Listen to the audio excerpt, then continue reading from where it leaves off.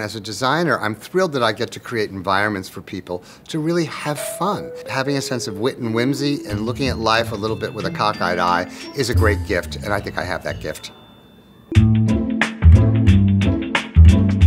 My toughest critic, of course, is myself. I always go, could we have changed that a little bit? Maybe if we had done that way, but I've learned to step back and realize that that's just the bad Jamie standing whispering in my ear, and that's not the reality.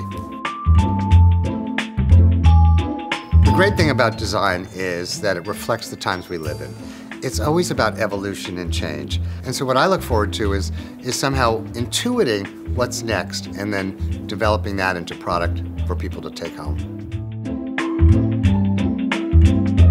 Happiness to me is the ultimate luxury, a word we were taught we shouldn't use too much the last few years, but why not? Luxury is a good thing, but maybe it's more about experiences. And to me, happiness is the essential experience, a good time in a beautiful environment. That to me defines happiness.